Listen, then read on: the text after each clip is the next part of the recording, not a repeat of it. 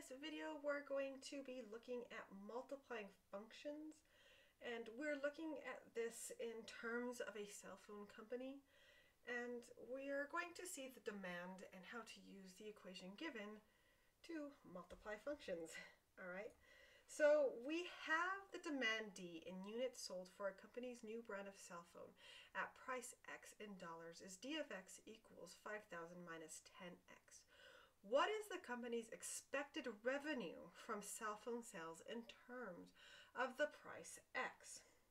So the company's revenue will equal the price of its cell phones multiplied by the demand. So in other words, you have revenue, R-E-V, so revenue is equal to the price times, that's an E, times demand.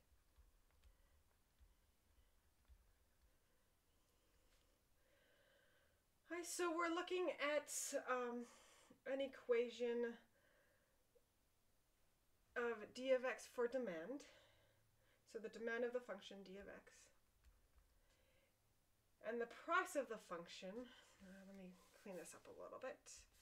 Doo -doo -doo okay, so the price is going to be p of x, and the demand is going to be d of x. So the way I might write this out is p of x, or p times d, with respect to x. Because that's what they're asking us. They're asking for us for the expected revenue in terms of x. But this essentially is equal to p of x times, I'm going to do the little dot for times d of x. Make sure that's filled in.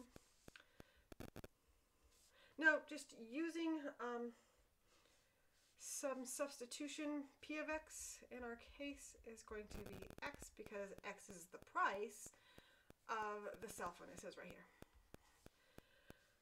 So now substituting in, we now have x times 5,000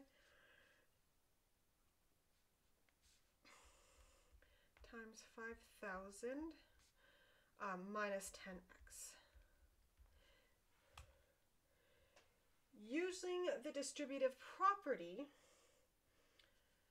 we are going to see this as 5000x minus 10x squared. And here's one thing. Let's let's actually when we're going through this, because this is a a defined problem. So let's also define our domains and ranges. So domain for p of x has to be greater or equal to 0.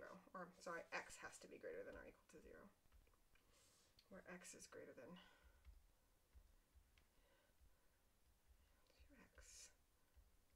Because again, let's define this so we know if we're going to look at this graphically, what we're working with. We need to know what we're working with. Um, our demand, again, you can't have negative demand. Um, I've never seen it actually happen. So again, we're looking at our function itself being greater than zero.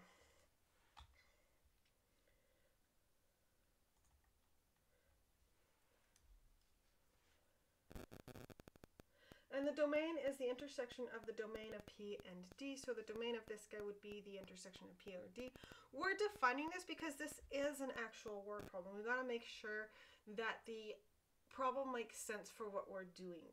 So the revenue of the company, R of X, I'm going to call this R of X, can be modeled by the equation 5000x minus 10x squared, where it cannot actually be less than zero. So this function can, remember, go beyond zero. This is a quadratic function.